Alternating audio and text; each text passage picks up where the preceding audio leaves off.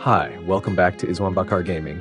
If this is your first time here, make sure to subscribe and follow my channel. I'm a truck game player just like you, and I share a lot of tips, mods, and gameplay to help you get the most out of ETS2 and ATS. Okay, so recently, many of you have been asking me during live streams and in the comments, how do you set up lossless scaling for ETS2? Actually, it's not just for ETS2, you can use it for ATS as well. So in this video, I'm going to share my settings so you can get an idea of what works best for your gameplay. Before we dive in, here are my PC specs. I'm using a Ryzen 5 5600, RTX 3060 Ti, and 32 gigabytes of RAM. A bit about lossless scaling. You can use this tool boost your FPS up to three times depending on your PC specs and game settings. For the best gaming experience, you should cap your game's FPS to a stable level this helps maintain a consistent frame rate. Frame rate, or FPS frames per second, is the number of frames displayed per second in your game. A higher and more stable FPS results in smoother gameplay. If your FPS fluctuates too much, it can cause stuttering and affect your gaming experience. That's why capping your FPS at a stable level is crucial. Let's jump into my settings for ETS2 and ATS. Here's the interface of the lossless scaling software. It looks simple, but it's incredibly powerful. You can create profiles to make it easier for you.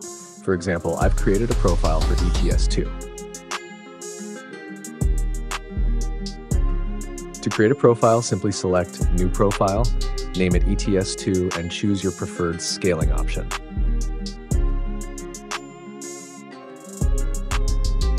For scaling mode, I choose auto and full screen because I like to play in full screen mode. For scaling type, I use AMD FSR even though I have an NVIDIA card, it works just fine. You can try other options like LS1 too.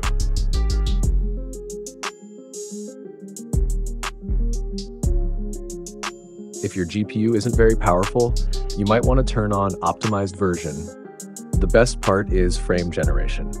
I use LSFG 2.1 because it has an option to increase FPS up to 3x. But remember, this also uses GPU power, so you'll need to experiment to find the best balance. For those with less powerful GPUs, turn on performance mode. The rest of the settings can follow my setup or you can tweak them to fit your needs. This is what works best for my PC and gameplay.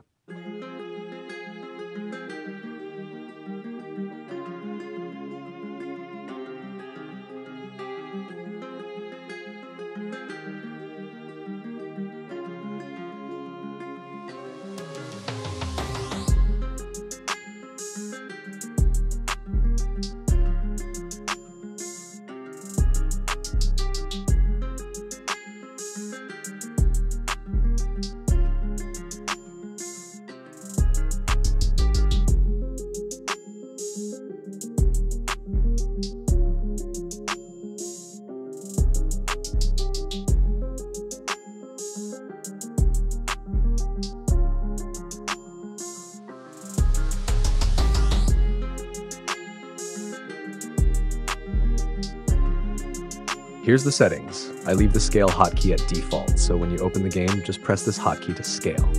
Got it?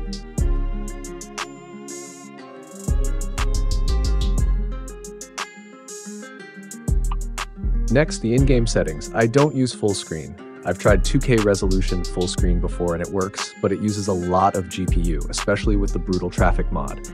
For now, I use 1080p, 400% scaling, ultra settings. The graphics look almost as good as 2K with 200% scaling. Still beautiful. Uh, I cap my in-game FPS at 35 because that's the most stable FPS I can get. You know how ETS2 can have crazy FPS drops in certain areas, especially with brutal traffic.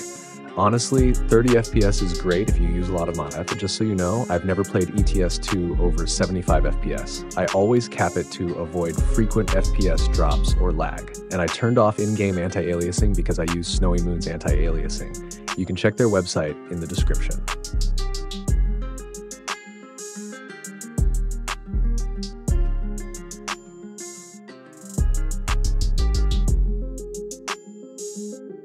All right, now that everything is set, we can turn on scaling using the hotkey Control plus Alt S.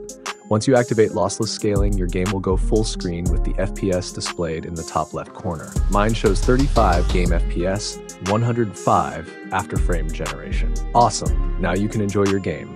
You can scale anything you want. For example, to watch YouTube, just press the same hotkey. You'll get smoother videos. That's it for this video. Many of you have asked about my settings, so I made this video to help you out. Please share this video so others can benefit too. Bye.